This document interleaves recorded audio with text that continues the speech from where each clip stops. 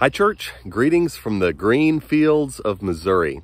I was able to be here this week visiting my parents and some friends, uh, but I'm looking forward to heading back to Arizona. I'll be there this Sunday, and I just know that God will give us a good day in His house. So uh, let me tell you what's going on Sunday. First of all, at 9:30 will be our adult Bible class. Uh, we'll be talking about the discouragement of Elijah and how uh, we can combat our own times of discouragement.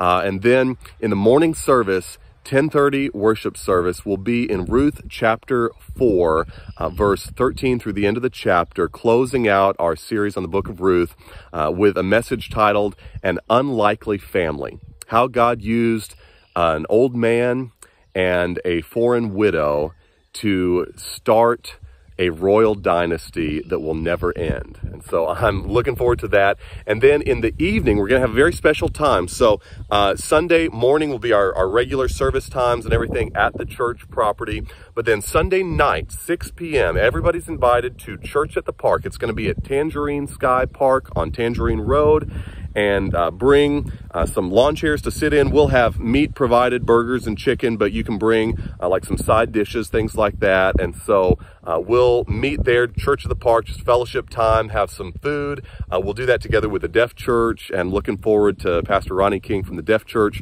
uh, speaking to us some. And so that will be a great time. Everybody's invited to that this Sunday night, 6 p.m., Tangerine Sky Park. and then on Wednesday, we'll be back in our series on how to study the Bible. We'll talk about some uh, unique principles to keep in mind as you interpret uh, the New Testament. So, looking forward to all these things. And then uh, keep in mind, here in a couple of weeks, Mother's Day is coming up.